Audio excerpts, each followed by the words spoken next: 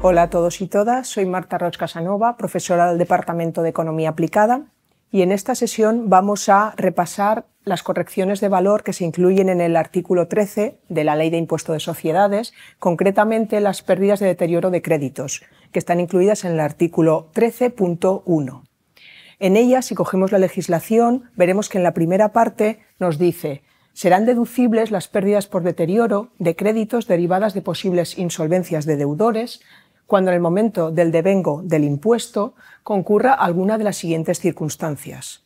¿Qué significa esto? Es decir, si la empresa tiene cualquier pérdida por deterioro de créditos de alguno de sus eh, deudores, acreedores, proveedores, etcétera, podrán ser deducibles estas si en el momento del devengo del impuesto, que implica esto a 31 de diciembre del periodo en el cual estamos liquidando, se dan algunas de las siguientes circunstancias, que podemos ver en la letra A, que hayan transcurrido más de seis meses desde el vencimiento de la obligación, es decir, que desde el vencimiento de la obligación sea posterior a 30 de junio del periodo en el cual estamos liquidando.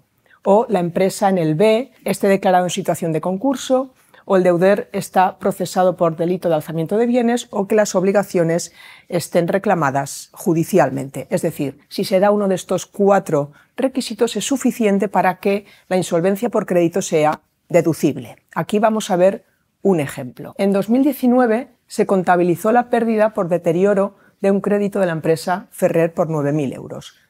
Vemos que tenemos una empresa la cual tenemos un deterioro de crédito por una factura que no nos ha pagado de 9.000 euros. Por ejemplo, con un vencimiento a 1 del 8. Vemos que es la única información que tenemos, el vencimiento, por lo tanto nos acogemos a ello, ¿de acuerdo? Si el vencimiento es el 1 de 8, es posterior al 30 del 6, es decir, no han pasado más de seis meses hasta devengo, desde vencimiento de factura. Por lo tanto, en el periodo impositivo 2019 en el cual estamos liquidando, esta insolvencia por crédito no será deducible. Así pues, lo que vemos que en el 2019 no es deducible, el gasto fiscal será cero y por tanto tendremos un ajuste extracontable positivo. Así pues, vemos que en 2020 sigue sin cobrarse esta deuda, por lo tanto, en 2020 sí que será deducible, puesto que ya han pasado más de seis meses desde el devengo de la insolvencia. Por lo tanto, tenemos ajuste positivo 2019 y ya deducible ajuste negativo en 2020. Siempre tenemos una diferencia eh, temporal que se hace suma de ajustes cero. Otro ejemplo, en 2019 se contabilizó la pérdida por deterioro de un crédito de 10.000 euros de la empresa Bati. Vemos que tenemos unas características concretas y nos dice que esta empresa está declarada en situación de concurso.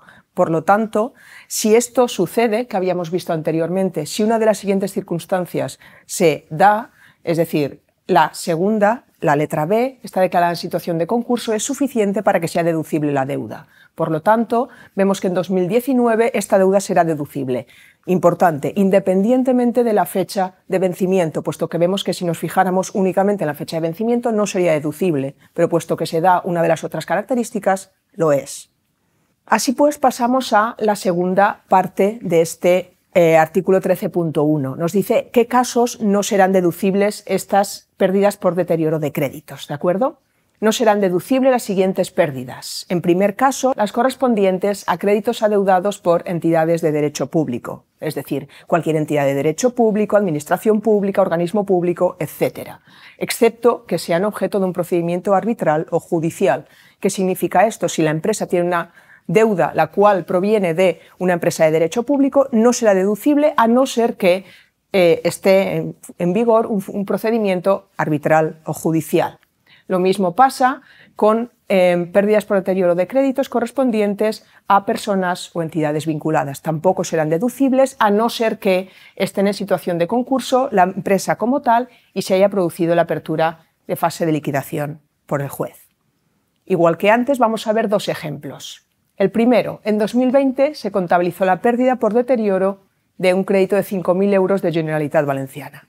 Como vemos, la Generalitat Valenciana, un organismo público, una entidad de derecho público y, como habíamos dicho, no será deducible a no ser que esté en vigor un procedimiento arbitral o judicial. Puesto que no nos lo especifica, vemos que esta deuda de Generalitat Valenciana no será deducible en el 2020, ¿de acuerdo? Tampoco será deducible en posteriores años a no ser que esté reclamada mediante un procedimiento arbitral o judicial. ¿De acuerdo? El siguiente ejemplo, en el 2020 se contabiliza una pérdida por deterioro de una empresa, Terra SA, que es una empresa vinculada en situación de concurso y fase de liquidación. Es decir, es una empresa vinculada a la nuestra. Por lo tanto, en ese caso no sería deducible, a no ser que, como bien nos dice la teoría, esté en situación de concurso y se haya producido la apertura en fase de liquidación. Eso es lo que ocurre en este caso, está esta empresa, por lo tanto, sí que será deducible. Es la excepción en este caso. Por lo tanto, será deducible gasto fiscal 7.000 y no existe ajuste. Bien, esto con respecto a la primera parte del artículo 13.1. Ahora bien, ¿qué pasa si tenemos una deuda la cual al año siguiente eh, queda liquidada? Es decir, existe una reversión de dicho deterioro. ¿Qué ocurre entonces? Nos debemos acoger al artículo 11.5 y 11.6 de, la, de la legislación. Abrimos la legislación, impuesto de sociedades, artículo 5, artículo 6, que nos habla de la reversión de deterioro. En el artículo 11.5 concretamente nos dice, no se integrará en la base imponible la reversión de gastos que no hayan sido fiscalmente deducibles. Es decir, simplemente, un gasto que no haya sido deducible en el periodo anterior, si se cobra en el periodo siguiente, es decir, existe una reversión de la deuda o una reversión del deterioro, tampoco se integrará en la base el ingreso en caso de haberse cobrado. Eso lo vemos en el siguiente ejemplo. El año 2019 se contabiliza una pérdida por deterioro de una empresa determinada por 18.000 euros. ¿De acuerdo? En el año 2019, dicha deuda, vemos el vencimiento, que es el único dato que tenemos, y el vencimiento vemos que es 11 del 10 del 19. No han transcurrido seis meses desde el vencimiento de factura hasta el devengo del ejercicio, hasta el 31 del 12 del 19. Por lo tanto, en el 2019 no es deducible. Gasto fiscal, cero. Ajuste extracontable, 18.000.